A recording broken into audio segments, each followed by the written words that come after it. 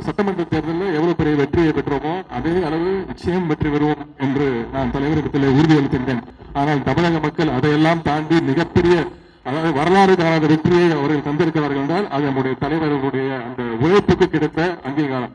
கடந்த அதிமுக அரசில் தடுப்பூசி என்றாலே ஒரு பயம் இருந்தது. அந்த பயத்தை போக்கி நாம் பொறுப்பேற்றுள்ள இந்த பத்து மாதங்கள்ல மெகா தடுப்பூசி முகாம்கள் வார வாரம் மெகா தடுப்பூசி முகாம்கள் நடத்தி அளித்த தடுப்பூசி பற்றியான விழிப்புணர்வை ஏற்படுத்தி இது நாள் வரை இந்த பத்து மாதங்களில் பத்து கோடியே பதினேழு லட்சத்தி இருபதாயிரத்தி ஐநூத்தி எண்பது தடுப்பூசிகள் செலுத்தப்பட்டுள்ளன. புற்றுநோய் அறுவை சிகிச்சையை ரோபோ ரோபோ மூலம் மேற்கொள்ளும். ரூபாய் முப்பத்தி ஒன்பது கோடி மதிப்பிலான ரோபோட்டிக் மிஷினை நம்முடைய முதலமைச்சர் அவர்கள் ஓமந்தூரார் மருத்துவமனையில் தொடங்கி வைத்துள்ளார்கள். இந்தியாவிலே ஒரு மாநில அரசினுடைய மருத்துவமனையில இந்த சிகிச்சை ஏற்பாடு செய்யப்பட்டிருக்கிறார் அதுல முதல் மாநிலம் நம்முடைய தமிழகம் தான் என்பது மிகப்பெரிய பெருமை. அந்த மாசு தான் அந்த பெருமை போய் சேரும். ஒட்டுமொத்த ஒட்டுமொத்த இந்தியாவே எங்கள் தலைவரை பாராட்டிக் கொண்டிருக்கிறது. ஆட்சி பொறுப்பேற்று ஒன்பது மாதங்கள்ல உங்களுக்கு தெரியும். ஆட்சி பொறுப்பு ஏற்கும் போது எந்த நிலைமை இருந்துச்சு தமிழ்நாட்டில் உங்களுக்கு தெரியும். அத்தனை பேருக்கு தெரியும். கொரோனா இரண்டாவது பேரலை மிக ஒரு ஆபத்தான சூழ்நிலையில தலைவர் அவர்கள் பொறுப்பேற்றவர்கள் முதலமைச்சராக. தினமும் இருபத்தைந்தாயிரம் பேர் முப்பதாயிரம் பேர் கொரோனாவினால் பாதிக்கப்பட்டு எங்கே போனாலும் பெட் இல்லை ஆஸ்பத்திரி இருந்தால் பெட் இல்லை பெட் இருந்தால் ஆக்சிஜன் இல்லை ஆக்சிஜன் இருந்தால் ஊசி இல்லைங்கிற நிலைமையில தான் நம்முடைய தலைவர் அவர்கள் பொறுப்பேற்றார்கள் தலைவர் பொறுப்பேற்று அந்த ஒரு மாத காலம் ஒரு கிட்டத்தட்ட ஒரு போர்க்கால நடவடிக்கை எடுத்து அதற்கு முழு முழுதாக தலைவர் அவர்களுக்கு துணை நின்றது அண்ணன் மாசவன் அவர்கள். அவளை எவ்வளவு பாராட்டினாலும் கண்டிப்பாக அது மிக இந்த நேரத்துல வாசனனுக்கு நான் தனிப்பட்ட முறையில் நான் நன்றி சொல்லணும். ஏனென்றால் நம்முடைய ஆட்சி பொறுப்பேற்று இந்த கொரோனாவிலிருந்து தப்பிக்கிறதுக்கு ஒரே வழி கோவிட் தடுப்பூசி தான். அப்போ வந்து கோவிட் தடுப்பூசி எங்கேயுமே கிடைக்கல. ஒரே தட்டுப்பாடாக இருந்தது.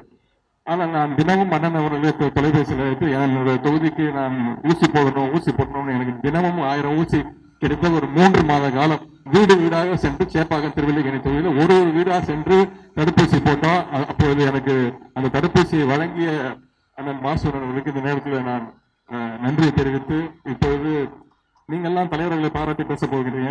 நான் அந்த மாசூரன் அவர்களை பற்றி பாராட்டி இல்லை. அவர் செய்துள்ள பணிகளை உங்களிடத்தில் ஞாபகப்படுத்த இந்த- இந்த நிகழ்ச்சியை அதற்காக எடுத்துக்கொள்ள போகிறேன். புள்ளி விவரங்களை சொன்னால் நீங்கள் அத்தனை பேரும் மலைத்து போ மலைத்து போய் விடுவீர்கள் கடந்த அதிமுக ஆட்சியில் தடுப்பூசி என்றாலே ஒரு பயம் இருந்தது. அந்த பயத்தை போக்கி நாம் பொறுப்பேற்றுள்ள இந்த பத்து மாதங்கள்ல மெகா தடுப்பூசி முகாம்கள் வார வாரம் மெகா தடுப்பூசி முகாம்கள் நடத்தி அந்த தடுப்பூசி பற்றியான விழிப்புணர்வை ஏற்படுத்தி இது நாள் வரை இந்த பத்து மாதங்களில் பத்து கோடியே பதினேழு லட்சத்தி இருபதாயிரத்தி ஐநூத்தி எண்பது தடுப்பூசிகள் செலுத்தப்பட்டுள்ளன. முதல் டோஸ் ஐந்து கோடியே அறுபது லட்சத்தி இருபத்தி ரெண்டாயிரத்தி எழுநூத்தி தொண்ணூத்தி ஏழு பேருக்கும். இரண்டாவது டோஸ் நான்கு கோடியே நாற்பத்தி ஒன்பது லட்சத்தி தொண்ணூத்தி நாலாயிரத்தி நானூத்தி தொண்ணூறு. அதுபோல் பூஸ்டர் டோஸ் ஏழு லட்சத்தி மூணாயிரத்தி இருநூத்தி தொண்ணூத்தி மூணு பேருக்கும் இது நாள் வரை போடப்பட்டுள்ளது இது தவிர இல்லம் தேடி மருத்துவம் திட்டம் மூலம் முதல் முறையாக பயன்பெற்றவர்கள் ஐம்பத்தி மூணு லட்சத்தி அறுபத்தெட்டாயிரத்தி எழுநூத்தி ஐம்பத்தி மூணு பேர். இவர்களில் உயர் ரத்த அழுத்தம் உள்ளவர்கள் இருபத்தி ஒரு லட்சத்தி எழுபதாயிரத்தி எட்நூத்தி தொண்ணூத்தி ஆறு பேர். நீரிழிவு நோய் உள்ளவர்கள் பதினாலு லட்சத்தி எண்பத்தி மூணாயிரத்தி தொள்ளாயிரத்தி ஆறு பேர். இவை இரண்டும் உள்ளவர்கள் பத்து லட்சத்தி தொண்ணூத்தி மூணாயிரத்தி அறுநூத்தி இருபத்தி எட்டு பேர். எண்முறை சிகிச்சை அதாவது பிசியோதெரப்பியும் டயாலிசிஸ் செய்து கொள்வோர் ஆறு லட்சத்தி இருபதாயிரத்தி முன்னூத்தி இருபத்தி மூணு பேர். அது மட்டுமல்ல இந்த துறையின் உழைப்பு கொரோனாவுக்கு பிறகு உடல் ரீதியாக மன ரீதியாக பாதிக்கப்பட்டோர் மீண்டு வர இந்த இல்லம் தேடி மருத்துவம் அப்படின்ற ஒரு மிகப்பெரிய இந்தியாவிற்கு ஒரு முன்னுதாரணமான ஒரு திட்டம் தொடங்கப்பட்டு இன்னுயிர் காப்போம் நம்மை காக்கும் நாற்பத்தெட்டு என்ற திட்டத்தில் இதுவரை முப்பத்தி ஓராயிரம் பேர் காப்பாற்றப்பட்டு அவர்களுக்கான முழு சிகிச்சையும் அரசே ஏற்றுக்கொண்டுள்ளது.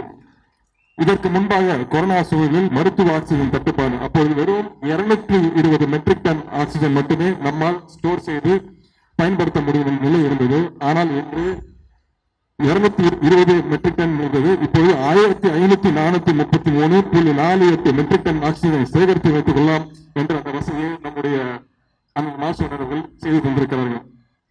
இன்று காலையில் கூட இந்தியாவிலே முதல் முறையாக புற்றுநோய் அறுவை சிகிச்சையை ரோபோ ரோபோ மூலம் மேற்கொள்ளும் ரூபாய் முப்பத்தி ஒன்பது கோடி மதிப்பிலான ரோபோட்டிக் மிஷினை நம்முடைய முதலமைச்சர் அவர்கள் ஓமந்தூரார் மருத்துவமனையில் தொடங்கி வைத்துள்ளார்கள்.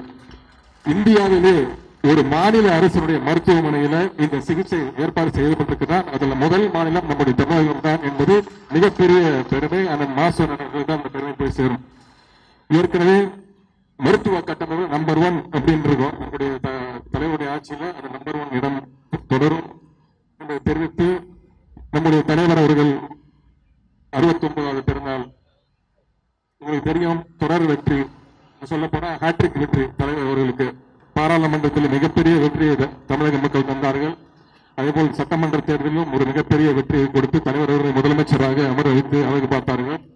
தலைவர் அவர்கள் நம்முடைய அமைச்சர் அவர்கள் சட்டமன்ற உறுப்பினர்கள் நாடாளுமன்ற உறுப்பினர்கள் செய்கின்ற மக்கள் பணியை பார்த்து தலைவர் அவர்களுக்கு இந்த மா- உள்ளாட்சி தேர்தலிலும் மிகப்பெரிய சரித்திர வெற்றியை கொடுத்திருக்கிறார்கள்.